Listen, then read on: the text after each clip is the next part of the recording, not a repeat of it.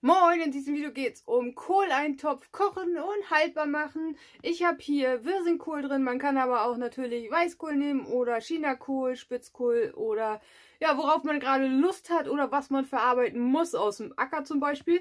Ähm, geht total einfach und das Geniale ist, einfach nachher das Glas öffnen, einmal im Topf erhitzen, den Glasinhalt ähm, und dann hat man schon eine warme Mahlzeit auf dem Teller. Super genial.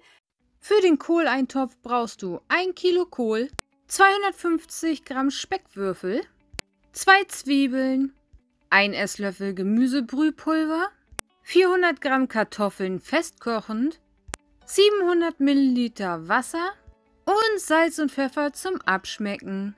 Achtet bitte darauf, dass das Gemüsebrühpulver einkochbar ist und dass das Salz ohne Jod, Trennmittel oder Rieselhilfen ist.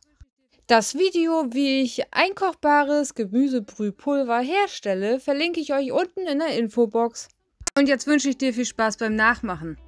Zuerst gebe ich die Speckwürfel und die Zwiebeln in einen ausreichend großen Topf und brate alles an. Gelegentlich rühre ich das mal um, damit mir auch nichts anbrennt. Dann bereite ich den Wirsingkohl vor. Wie gesagt, man kann das auch mit Weißkohl machen.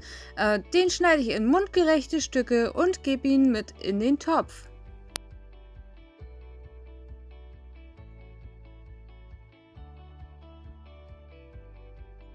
Hier gebe ich dann nochmal den Deckel auf den Topf, damit der Kohl ein bisschen in sich zusammenfällt. Dann kommen die geschälten und in Stücke geschnittenen Kartoffeln dazu. Das Gemüsebrühpulver und eventuell nochmal zusätzlich Salz, je nachdem wie salzig eure Gemüsebrühe ist. Und schließlich das Wasser. Jetzt noch den Deckel oben drauf und das Ganze 20 Minuten circa köcheln lassen. Zwischendurch kann man mal gucken und einmal umrühren, damit die Kartoffeln auch unter die Flüssigkeit kommen. Vorher konnte ich das nicht äh, umrühren, weil das einfach eine zu feste Masse war. Dann könnt ihr nochmal abschmecken und gegebenenfalls nochmal pfeffern. Also bei uns muss unbedingt Pfeffer ran. Ich kenne aber auch welche, die kochen das ohne Pfeffer. Deswegen schmeckt das für euch ab, so wie es euch am besten schmeckt. Nach den 20 Minuten mache ich dann den Peaks-Test, ob die Kartoffeln schon gar sind. Und wenn sie gar sind, dann kann schon abgefüllt werden.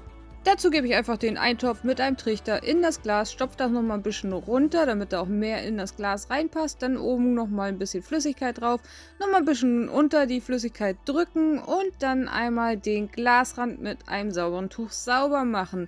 Die Gummidichtung kommt auf den Deckel bei den neueren Gläsern und äh, bei den alten Gläsern kommt die Gummidichtung auf den Glasrand.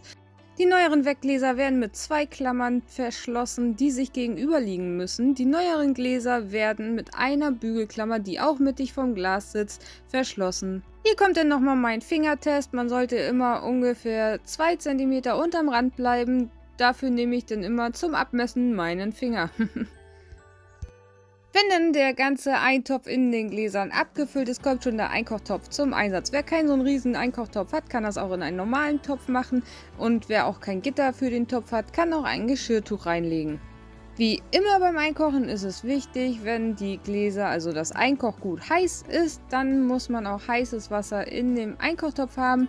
Wenn man kaltes Einkochgut hat, dann muss man auch kaltes Wasser im Einkochtopf haben.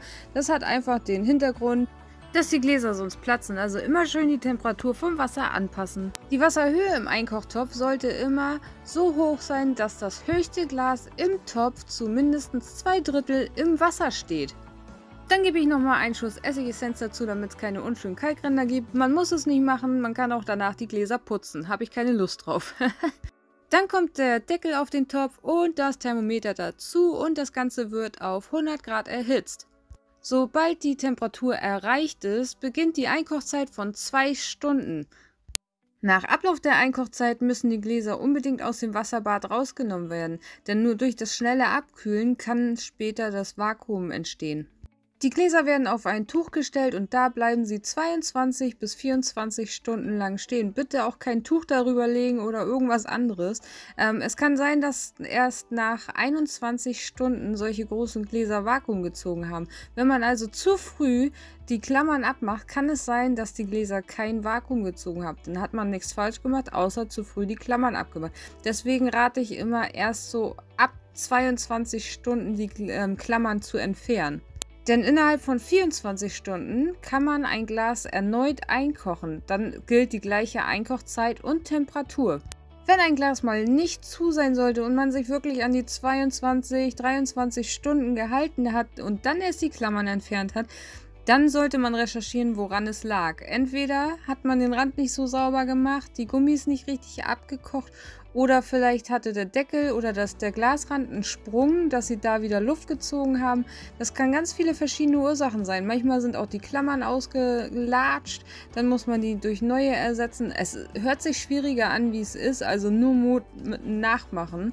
Ähm, die Rückfallquote, die ich bis jetzt hatte, die ist so gering. Ich habe manchmal ähm, Probleme mit den alten Weglesern, weil ich dann nicht darauf geachtet habe, dass äh, der Deckel zum Beispiel einen Sprung hatte. So, genug gequatscht. Jetzt wünsche ich dir viel Spaß beim Nachmachen. Wenn du Fragen hast, dann melde dich einfach bei mir.